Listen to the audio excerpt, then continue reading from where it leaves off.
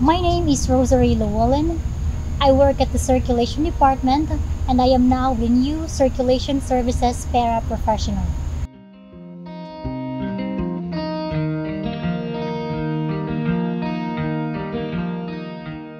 So I think uh, for me that was like um, six years ago when I visited the Lisle Library District.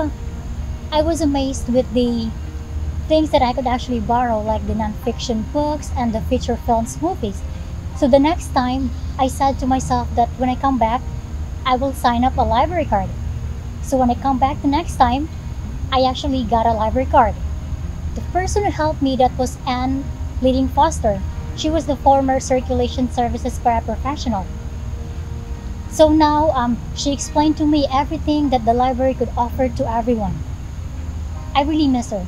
So yes, she explained to me everything, and then the only thing that I was like is I can I can actually borrow books.